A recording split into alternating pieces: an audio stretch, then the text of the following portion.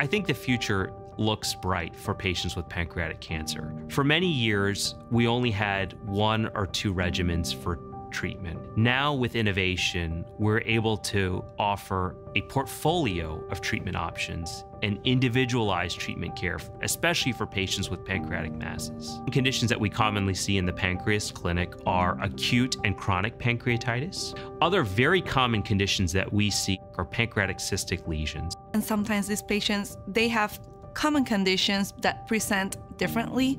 So they need a different type of care. And sometimes they're just very weird conditions that we know how to direct the care because we have experience with them because of the high volume patients that we see. For evaluation of, of lesions in the pancreas, whether they're mass or cysts, we will often perform an endoscopic ultrasound.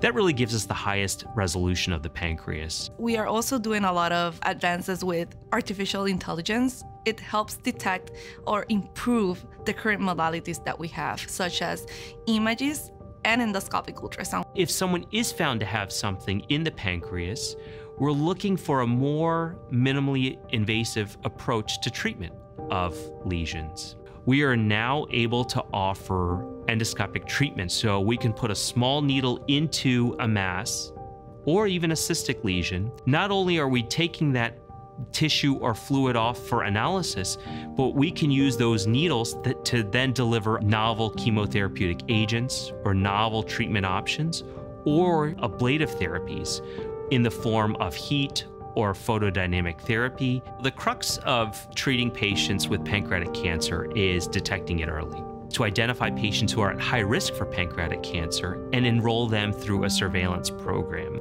My goal is that we can further establish what we should do in order to detect these lesions before and provide a better care for these patients.